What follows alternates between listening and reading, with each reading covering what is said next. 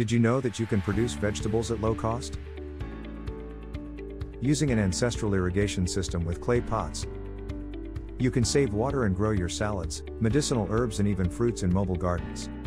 A system that works like an underground bulb, which sweats, by capillarity, delivering the water that the plant needs, without evaporation, maintaining humidity.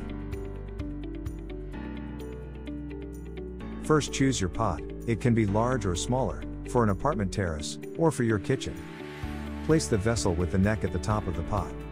Now, fill with a good quality soil or substrate. Then, mark where you will put 4 to 6 vegetables. Place them 10 centimeters from the neck of the pot and give them a first shallow watering. It is time to fill the vessel with water to the top. Now you have your ancestral irrigation system, which will allow you to have food or herbs for your day to day, take care of the water and produce clean. Learn more about pot irrigation at aka.cl. Let's sow the agriculture of the future today.